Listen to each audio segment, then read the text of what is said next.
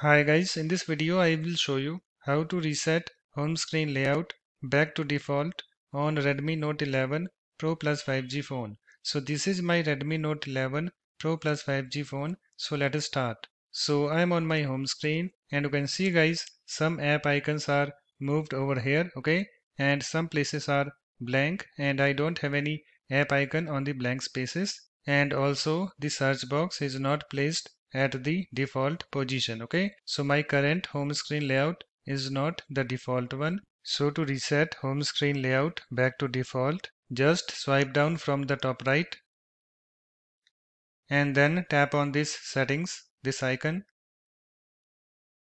And you can see guys I have my settings app opened. After that just scroll down to this apps and then tap on it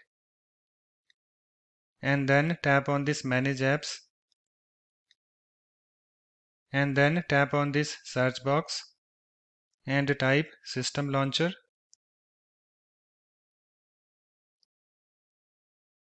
So here I have this system launcher app. So just tap on it. It's now opened. After that just tap on this storage and then tap on this clear data this button at the bottom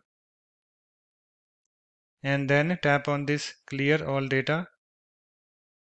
And I have this pop-up delete all data all app data including files settings accounts databases and cache will be permanently deleted. So just read this message and if you agree just tap on this ok this button. So I agree to this. So let me tap on this ok this button.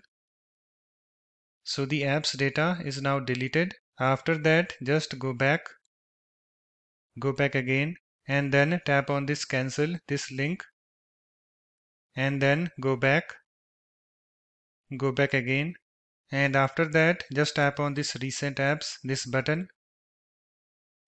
and then just wait for some time.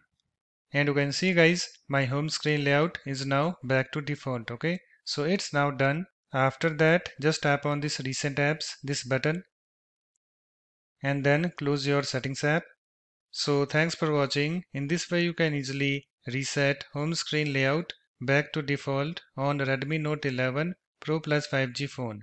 If you like my videos, please support this channel by subscribing to it. Thanks. Bye bye.